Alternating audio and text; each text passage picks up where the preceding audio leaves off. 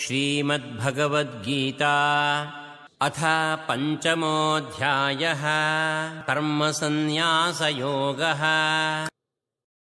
नादत्ते कस्यचित् पापम् न चैव सुकृतम् विभुः अज्ञानेनावृतम् ज्ञानम् तेन मुह्यन्ति जन्तवः Sri Krishna continues The Supreme Lord does not assume anyone's sinful or pious activities.